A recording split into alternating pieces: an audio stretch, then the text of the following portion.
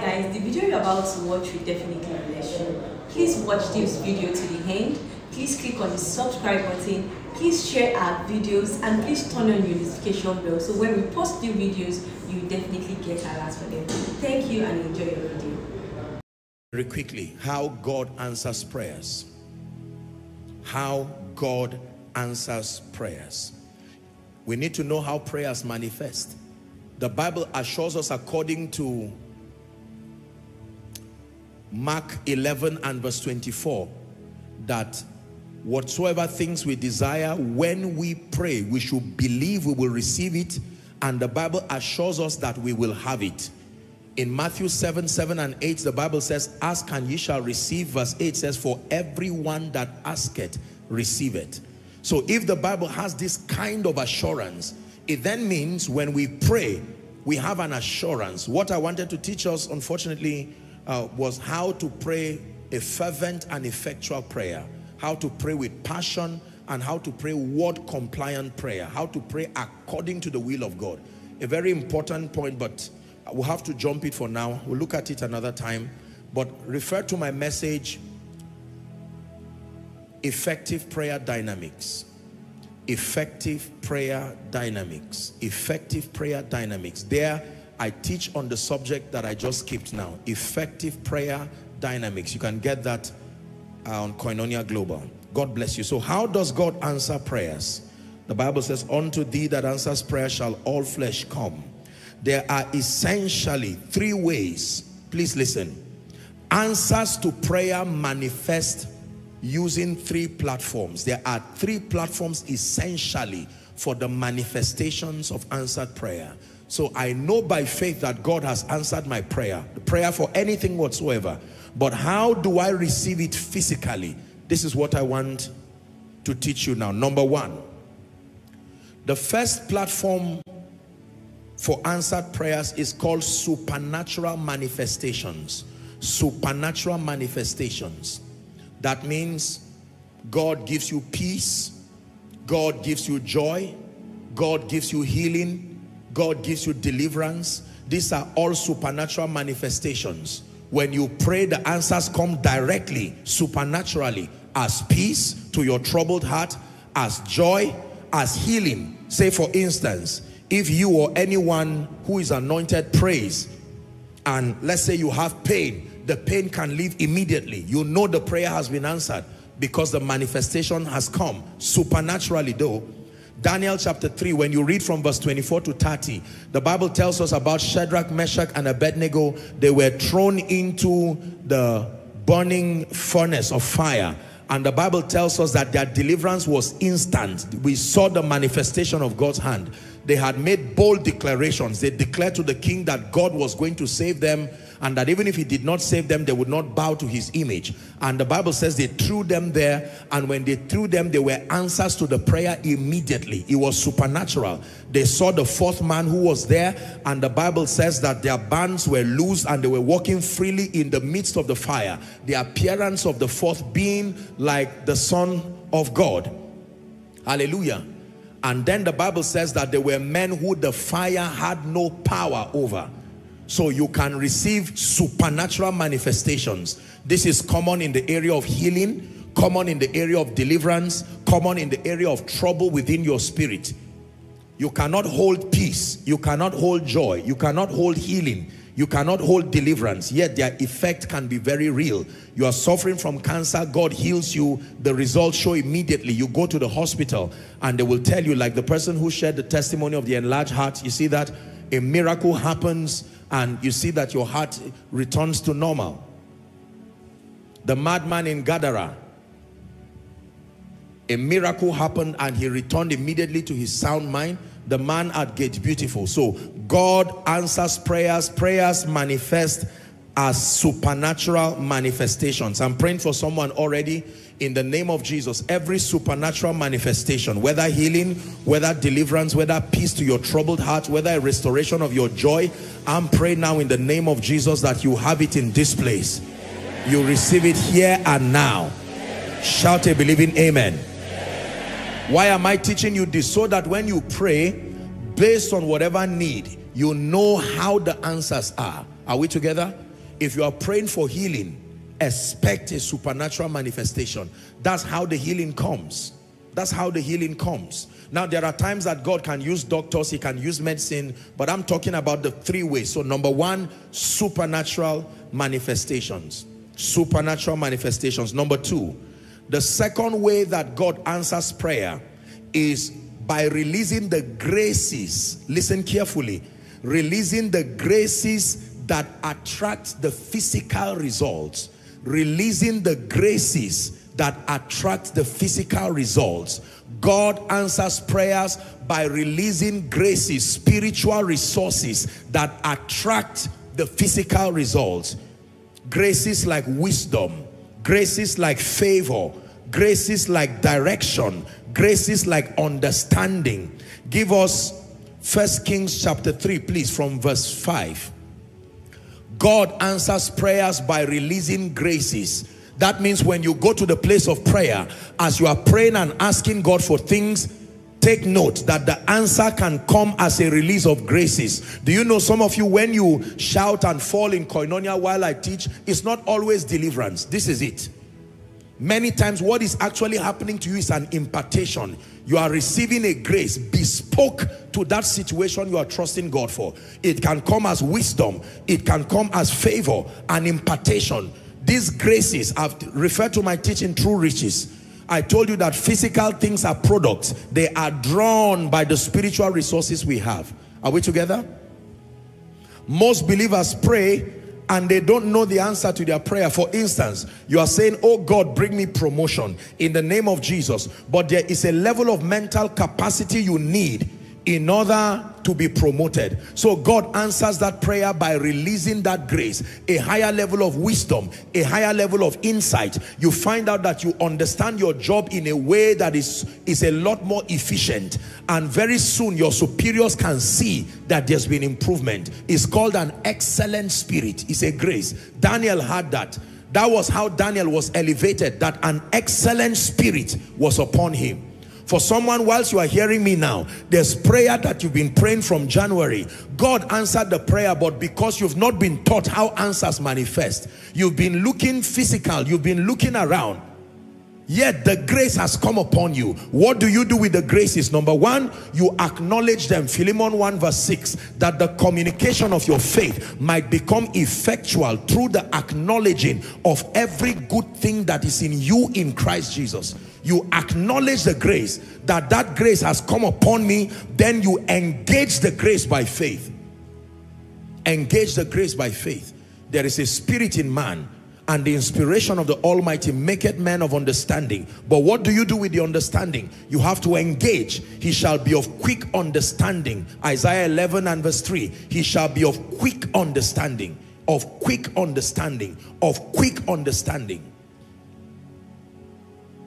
God answers prayer by releasing the various graces that are responsible for the command of the physical testimonies we desire. Please look at me. When you pray and say, Father, give me money, there are many ways he can answer that prayer. But the most classical way of answering that prayer is to give you the spiritual resources, the power to prosper, wisdom, favor, like you have learned. Refer to my message, Seasons of Abundance my most recent message on finances. There are a lot others, the power to get wealth and so on and so forth. Now, when God releases that grace upon you, what happens is as you engage it, that grace begins to attract people, circumstances, and opportunities that are consistent with your desire. Are we together now?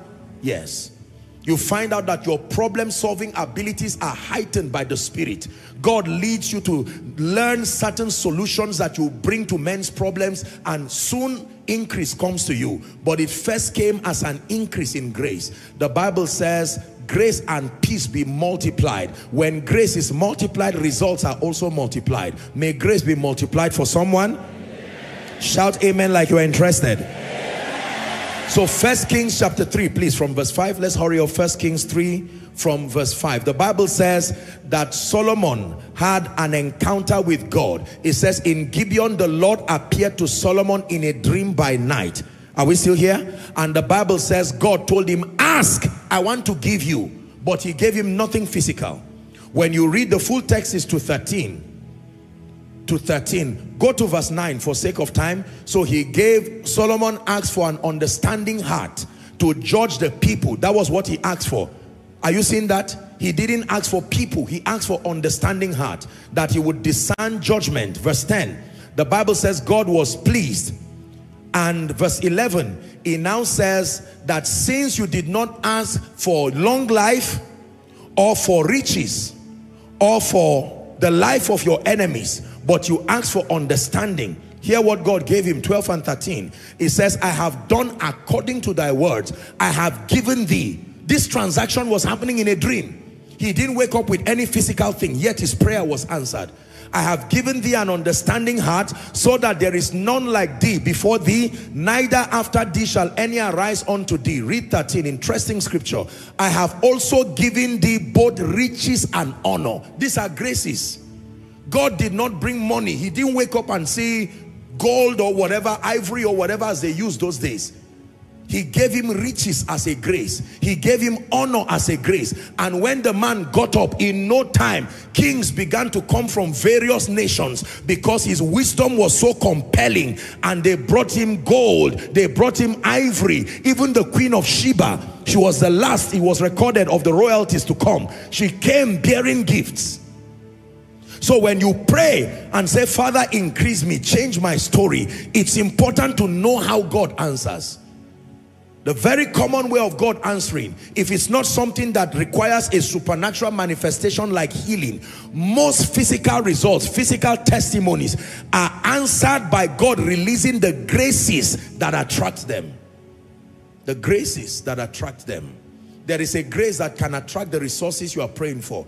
There is a grace that can attract the finances. There is a grace that can attract whatever it is. Looking for it is a waste of time. You receive the grace and it draws it to you. Say amen. amen. The final way God answers prayer is through the ministry of men. The ministry of men. The ministry of men. First Samuel 10, 26, 27. First Samuel 10, 26, 27. Someone's prayer life is becoming richer because you are learning now how God answers prayer.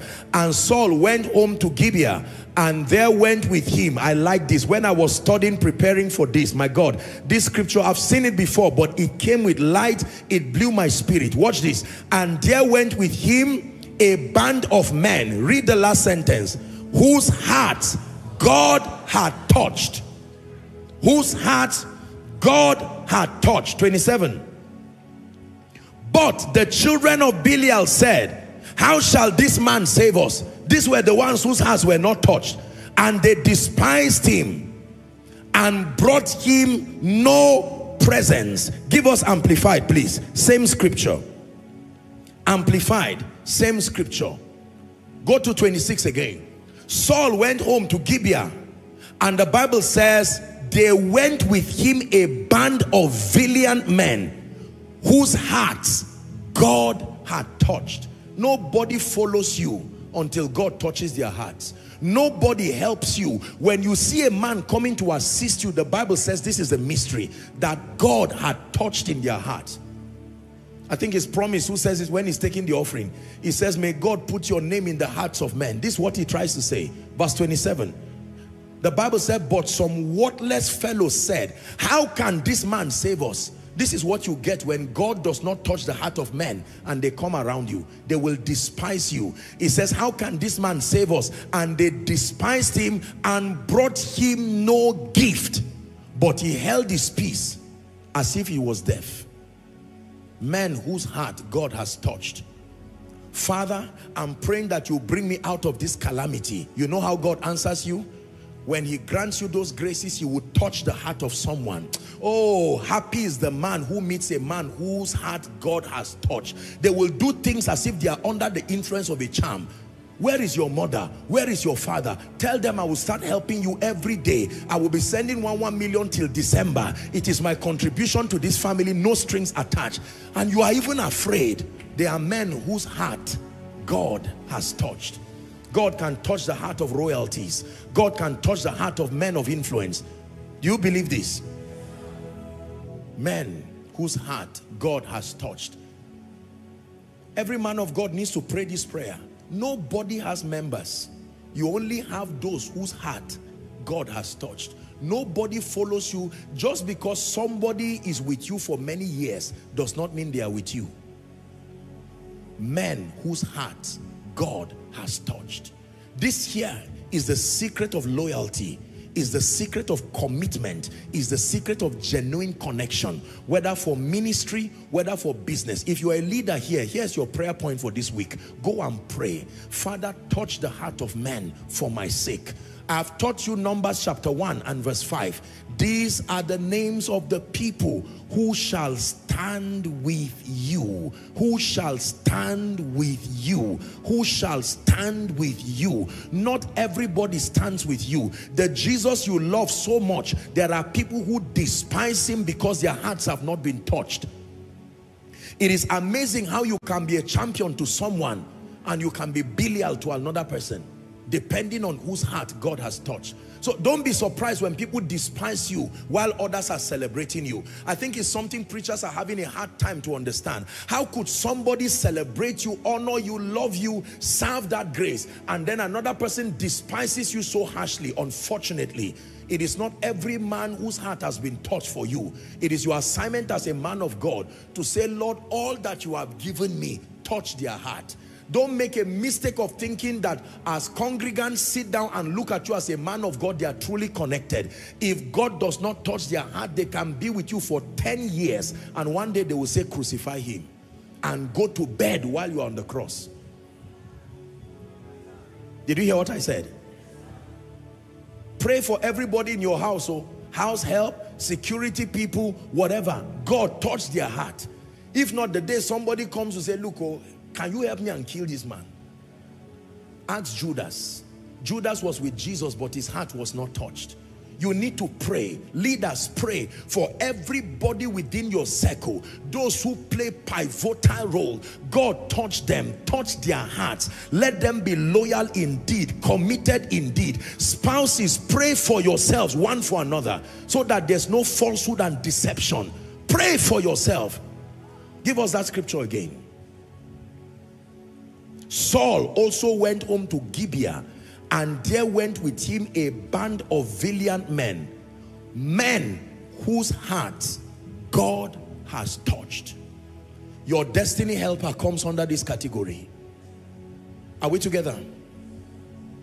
Have you read a very interesting story in the Bible? We're about to pray. That story is found, I think in Luke chapter, is it Luke chapter 10? From verse 29 to 36. Just write it for reference. Luke chapter 10 is the story of a man called the Samaritan. Have you heard the story of the Good Samaritan?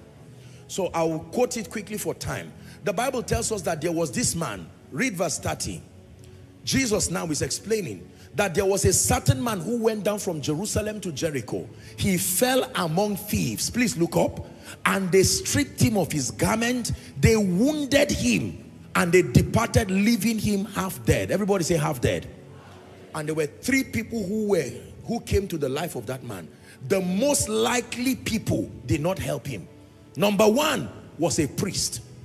The priest came when you read the verses. A priest came and saw him and went away as if he did not see anything. Number two a levite came. People of consecration came and saw him and passed on. But then number three, a man whose heart God had touched. The Bible said a certain Samaritan, when he saw him, he had compassion upon him and what did he do in response to the compassion? 34. He bound his wounds. He poured oil. He poured wine. He set him on his own donkey. He brought him to a hotel and took care of him. And he went further, verse 35, to leave an instruction. He said he took two pens and gave the hotel host and said, take care of him. And whatever else you spend, I will come back and repay you. Men whose heart God has touched. They will pay your rent last year and come this year again and say, are you stable now? You say, not yet, sir. And say, don't worry, I will still pay it. Men whose heart God has touched. Who needs those kind of people? Men whose heart.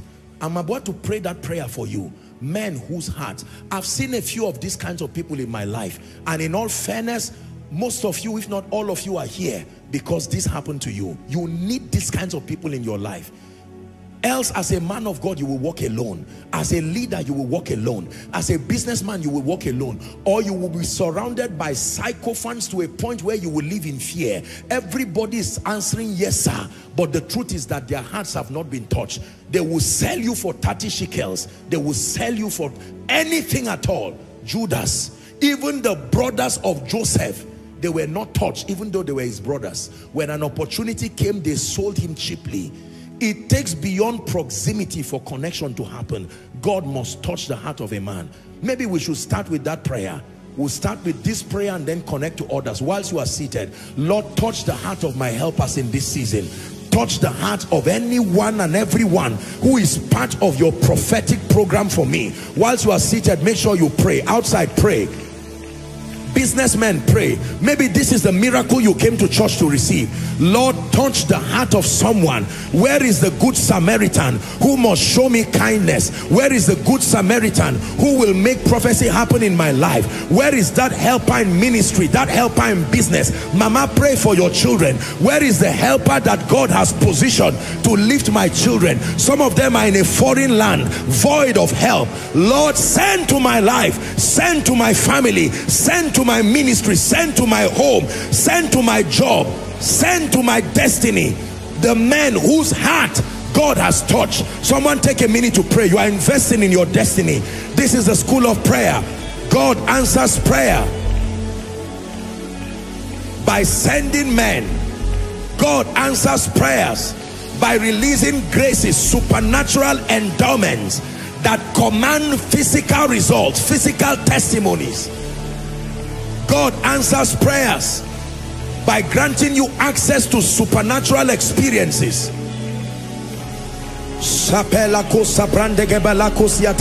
Someone pray. The final arrival of all answer to prayers is the arrival of men. They come with the gifts they carry. They come with glad tidings. They come with physical things they come with goodness. They come with mercy. Men are an expression of God's goodness. Men are an expression of God's mercy. Men are an expression of God's prosperity. Your wealth is in the hands of men. Your favor is in the hands of men. In the name of Jesus go ahead and pray. The land you will build on is currently in the hand of some man. God needs to help you if God does not touch the heart of men you will live a defeated life. Someone is praying. Someone is praying. In this season oh God I receive answers to prayer. If it's a healing cry for a supernatural manifestation. Let that cancer die. Let that deliverance be perfected. Let this recurrent ill health give way once and for all let this blood condition go. It is within your power to heal me and to heal me now. Heal me oh God and I will be healed. Save me and I shall be saved. Now go ahead and pray. The resources of wisdom the resources of favor the resources of direction the resources of power the resources of the anointing the resources of honor let it rest upon me. Drawing to my life physical testimonies testimonies of abundance and increase. Believers are praying.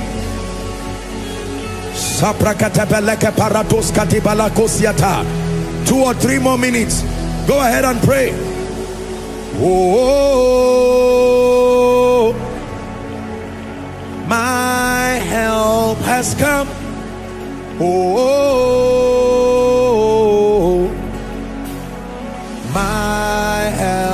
has come. Oh, oh, oh.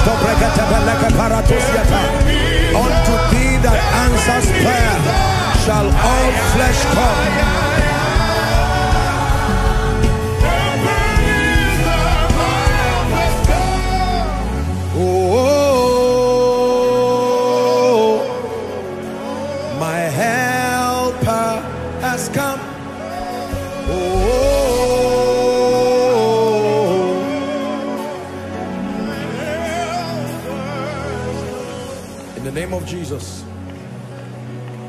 In the name of Jesus. Listen to me. It is impossible to have your prayer life go down when you understand these things. That this is a treasure that is hidden in a life of prayer. That every time I commit to prayer, I give God an opportunity to reveal his glory through my life. Imagine the things we miss when we do not pray and imagine the things we miss when we pray without understanding. Imagine the things we miss when we pray amiss. That prayer is me and God's purposes through you to be actualized. He made it so. He gave you that gift and that gift had placed a mandate upon your life that you must always communicate your needs. Communicate your needs. No assumption, no presumption. And I've taught you tonight that there are various assignments to prayer. Your growth and transformation, obtaining requests in the place of prayer, making decrees, establishing spiritual realities. I also taught you that the final assignment of prayer is for warfare and intercession. I've taught you various prayer models. Make sure you take advantage of them, that you can pray in the spirit, building up yourself on your most holy faith, consistently growing, molding yourself to a more powerful version. Are we together now? That you can pray, declaring faith-filled declaration of scriptures. You can pray the prayer of inquiry. You can pray warfare, warfare prayer, and you can pray with thanksgiving as the tool for receiving. Now I've taught you finally that when God answers prayers, these are the three channels for its manifestation. Number one, God answers prayers by giving you supernatural manifestations like a healing miracle, like a deliverance. Are we together? Supernatural. It is instant and yet even though it's from the spirit, you can have a physical expression. And then that God releases graces in answer to prayer, graces of wisdom, graces of favor, graces of power, graces of understanding, graces of direction, graces of honor. When you carry these graces, the graces have a mandate to draw forth physical circumstances, physical experiences that translate to your testimony. And that the final arrival of every answered prayer is through the ministry of men. They come in response to what you are carrying on your head. They come in response to something God has placed upon your life and that for that to happen God must touch their heart. Men can be aware of your need but it does not mean they will respond to it. These are the men whose heart God has touched who has learned tonight. Go back and listen to this message. Go back and meditate upon this. Meditate upon this until your prayer life becomes richer and becomes fuller. I'll ask you to pray one prayer and then I speak over your life. Father, everything that has killed my prayer life I command it out of my destiny. Fan my prayer life back to life. I need to be a believer with power a believer with results. I intend to gain mastery in the place of prayer. Someone pray. Someone pray. Take a minute to pray. Prayer that translates to your prosperity to your advancement to your empowerment. Consistent unending results by the spirit you are taking a minute to pray. Fan back the ambers of prayer. Fan back your altar in the name of jesus christ.